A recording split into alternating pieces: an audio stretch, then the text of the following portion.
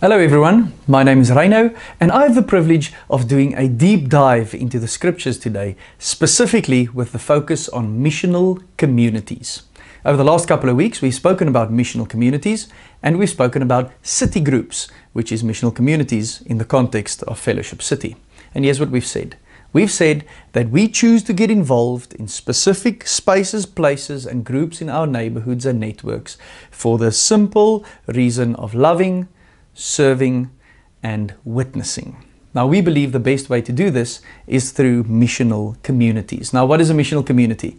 This is a Wikipedia definition, but I think it's a good one. A missional community is a group of people about the size of an extended family who are united through Christian community around a common service and witness to a particular neighborhood or network of relationships. There you go. If you would like to hear it again, maybe just rewind the video.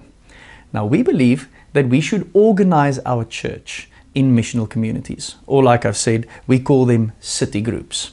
Okay, awesome. Is this biblical? Missional communities, city groups, and organizing your church in that way? I would like to say yes. And I want to invite you to dive into the scriptures with me and to discover this together. Let's start at what is called the Great Commission. It's a very well known portion of scripture from Matthew chapter 28, verse 19, with the idea that this is Jesus saying to his followers, This is what I want you to do. So let's read. Go, therefore, and make disciples of all nations baptizing them in the name of the Father and of the Son and of the Holy Spirit, teaching them to observe everything I have commanded you. And remember, I am with you always to the end of the age. So, one of the most important tasks of the church is to make disciples. It is actually a distinctive characteristic of the church. We're not a social club, right? We're not people only looking after our own interests like a civil organization. We are disciples. We are learners. And we are people who are being formed or conformed and transformed as we go and live a life of faith. So, the portion of scripture that I just read to you was at the end of the book of Matthew. Now, let's see what happened in the book of Acts, which is a follow up of that story. Let me read Acts, uh, Acts chapter 2, verses 42 to 47. It says, They devoted themselves to the apostles' teaching, this is the church, to the fellowship, to the breaking of bread, and to prayer. Everyone was filled with awe, and many wonders and signs were being performed through the apostles. Now all the believers were together and held all things in common. They sold their possessions and property and distributed the proceeds to all as any had need. Every day they devoted themselves to meeting together in the temple and broke bread from house to house. They ate their food with joyful and sincere hearts, praising God and enjoying the favor of all people. Every day the Lord added to their number those who were being saved. So here's what we see. We read that the church, or these disciples, adopted new rhythms for their lives and they lived a common life uh, by forming new habits that came with these new rhythms. Now, these were missional communities. Onlookers found it really bizarre to see these people all of a sudden live in this new way. But it was very attractive. The way that they lived was a form of witness for them. Up until this point in Acts, we know that at least 3,120 people came to faith in Jesus Christ and were known as the church. And obviously, they were never together as 3,120, they were always in smaller groups communities on mission, missional communities.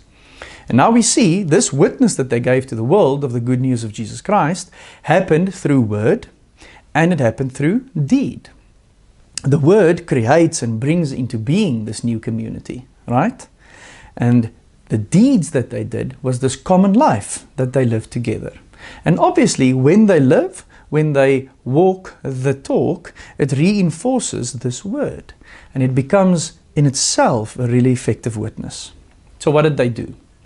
They devoted themselves to four things. And I'm just going to run through these four things real quick and we'll be done. The first one is they devoted themselves to the apostles' teaching.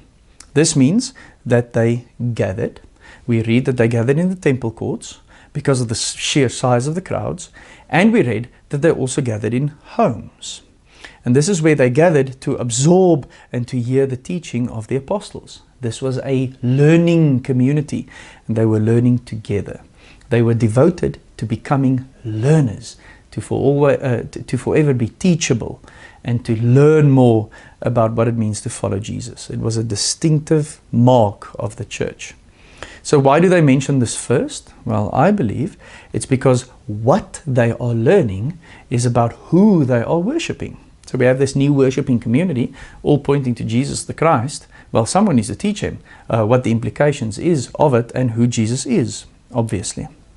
So, the apostles' teaching that we read about in Acts 2 helps us to explore the manifold implications of this announcement of the good news of Jesus Christ. Remember, at this point in the story, the New Testament as we know it uh, didn't exist yet, it was still being written.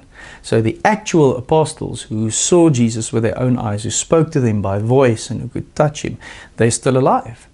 And the only thing that they did to these thousands of people was to say, So, this is what he said to us, and this is what he did, and this is what he commanded us to do. So, what does that mean if we live in light of that? We know that Jesus was risen from the dead, and now the question is how do we live in light of what he told us? It was a total life overall. When I was 13 years old, that's way back in the day in the 90s, I, uh, I, I was into surfing for a specific season of my life. Now, I know that sounds weird for a boy that grew up in Pretoria and played fly-half in primary school rugby, but there was a phase that I really enjoyed surfing. And it was, a, it was a whole new story that I imagined for my life, even though I lived here in Gauteng. I had to kind of retrain my mind and my life, you know, to imagine myself being a surfer. So I read new magazines, I wore new clothes. I had posters on my wall of Kelly Slater and Andy Irons and Ross Clarke-Jones and all those kind of guys. I watched a different kind of movie. Whenever we would go away on holiday to the seaside, I would look at the ocean differently. There's patterns that I would look for. It was like I was awakened to this whole new way of life. And everything was pointed towards wanting to be a surfer. It's the same if you are a follower of Jesus, because the gospel speaks to every dimension of our lives and it seeps into every dimension of our lives. And that's why the apostles' teachings tops the list of what the church kept themselves busy with. The other three things, real quick, is the church devoted themselves to fellowship. The Greek word there is koinonia.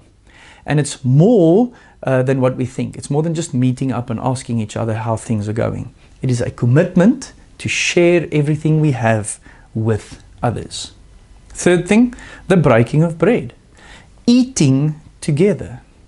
You guys know as well as I do, if you sit around a table, it's more about than just the food that you put into your mouth.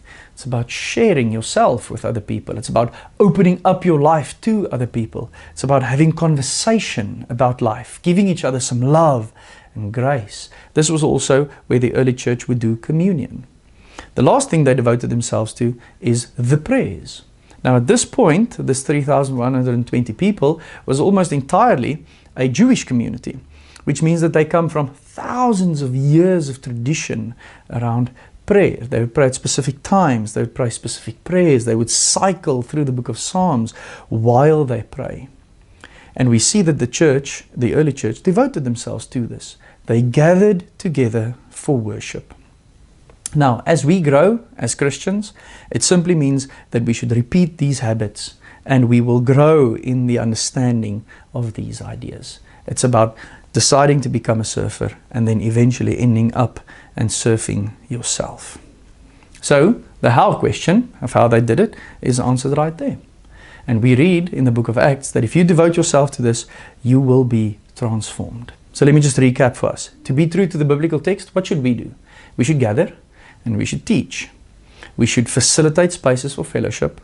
We should get together to share communion and break bread, and we should teach people how to pray and to worship. At Fellowship City, the best way to do that, we believe, is to do it through city groups, to do it through missional communities. It's not a Bible study, but we study the Bible. It's not a social club, but we are social with one another. It's not a dinner club, but we eat together. It's not a prayer gathering, but we pray together. Being a missional community or being a city group is about living life together. and doing these things as followers of Jesus together in the context of smaller groups about the size of an extended family. Let me just read you three more verses out of the Bible one from Acts 20, one from Colossians 4, and one from 1 Corinthians 16. And see if you can pick up the common denominator word. Spoiler alert, it's the word house. So in Acts chapter 20, verse 20, it says, You know that I did not avoid proclaiming to you anything that was profitable, or from teaching you publicly, and from house to house. Colossians 4. Give my greetings to the brothers and sisters in Laodicea and to Nympha and the church in her home. 1 Corinthians 16, verse 19 The churches of Asia send you greetings. Aquila and Priscilla send you greetings warmly in the Lord, along with the church that meets in their home. If the church is made up of missional communities or city groups, for us, we believe that we'll be able to be disciples of Jesus Christ. We'll be able to be the church in the way that we were designed to be. So let me ask you a few questions. What does that mean to you? Why does it excite you? What about it scares you? As we ponder these things, let's discuss it together. Grace and peace.